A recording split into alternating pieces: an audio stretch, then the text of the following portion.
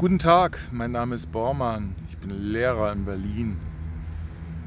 Mein letztes äh, Video handelte von meiner Maskenmenschphobie und äh, wie ich darunter leide und dass ich jetzt zum Arzt gehe.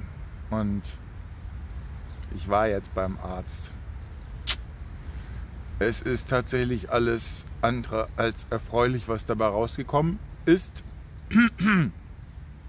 Eigentlich wollte ich ja nur eine Maskenbefreiung, aber jetzt bin ich eine Woche krankgeschrieben. Bis zu den Herbstferien.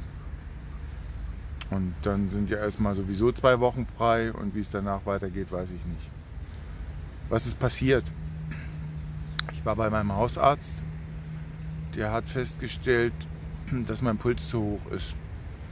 Dass mein Kreislauf irgendwie im Leerlauf pumpt. Dass äh, das nicht so richtig ist. Ähm, der hat mich gleich zum Kardiologen weitergeschickt. Der Kardiologe hat mich auseinandergenommen, so wie man das bei so einem Erstbesuch dann macht. Bei dem war ich noch nicht. Und äh, der hat dann gesagt, mein Leerlaufpuls liegt bei 130. Und das könne so nicht angehen. Ich habe jetzt ziemlich harte Medikamente bekommen, damit der Puls wieder runtergeht. Und ich werde die jetzt einnehmen und mal schauen, was passiert. Ähm, ich habe auch gefragt, ob das psych psychosomatische Ursachen vielleicht haben könnte oder durch diesen Alltagsstress passieren könnte. Davon geht er erstmal nicht aus. Er hat äh, einfach ein paar weitere Untersuchungen angesetzt. Hm, von Mittwoch auf Donnerstag steht mir ein Langzeit-EKG bevor. Von Donnerstag auf Freitag muss ich irgendwie eine Schlafmessung machen. Ich weiß nicht, was da ansteht. Äh, also es kann gut sein, dass ich Schlafstörungen habe und es dadurch bedingt diese äh, Herzrhythmusstörung, dieses Herzkammerflimmern oder was da alles festgestellt wurde, dann hm, verursacht werden. Das geht ja jetzt schon ein ganzes Weilchen so. Ich habe es ja auch schon gespürt. Ähm, ich hoffe, wir kriegen das in den Griff. Ähm, eine schöne Nebenwirkung meiner Krankschreibung ist natürlich jetzt, dass ich all diese Maskenzombies nicht sehen muss. Das ist eine deutliche Entlastung und allein das wird rein gefühlsmäßig so schon ein bisschen helfen. Also, ich bin nicht in Quarantäne, weil mein Sohn positiv ist. Achso, das hatte ich ja noch äh, gar nicht mitgeteilt, glaube ich. Ne? Aber es ist auch eine lustige Geschichte. Mein Sohn ist wiederum positiv getestet worden. Könnten ja wieder alle so oh, aus allen Wolken fallen.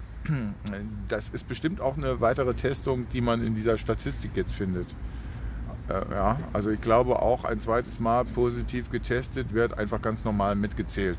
Also wenn Sie jetzt jeden positiven doppelt messen, haben Sie natürlich auch doppelte positiven Zahlen in der RKI-Statistik. Ich will das nicht behaupten, Sie müssen es einfach mal prüfen. Ja, ich habe es noch nirgendwo gehört, dass es geprüft wurde. Also bei dem Chaos, was wir jetzt erlebt haben in den Gesundheitsämtern, was da alles so gemacht wird, kann ich mir nicht vorstellen, dass da vernünftig gezählt wird. So, jetzt haben wir natürlich gefragt, können wir uns da immer noch anstecken? Nein, sagt das Gesundheitsamt, weil beim zweiten Test haben sie einen vernünftigen Test gemacht.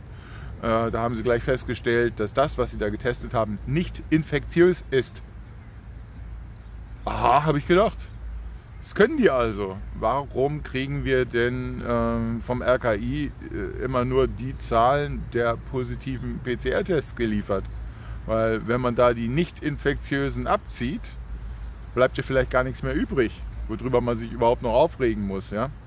Okay, also äh, meine Videos äh, stehen unter Beobachtung und äh, werden womöglich gelöscht. Äh, feel free to download and upload somewhere else. Ja? Ähm, ihr seid nicht alleine, wenn ihr irgendwas gegen dieses Corona-Regime habt und ihre Lügengeschichten. Ähm, wir entlarven sie Tag für Tag. In unserem Bekanntenkreis, überall, wo wir irgendwo einen Zugang zu irgendeinem Mikrofon, irgendeiner Kamera finden, werden wir deren Lügengeschichten erzählen. Und sie veröffentlichen, sofort. Ja? Äh, bitte auf meinem Kanal auch die Glocke anklicken, damit das Video sofort erscheint in der Anzeige. Das habe ich früher nicht gemacht, das wusste ich nicht, dass dem so ist, aber so. Macht mit meinen Videos, was ihr wollt. Ja. Außer mich verarschen. Tschüss.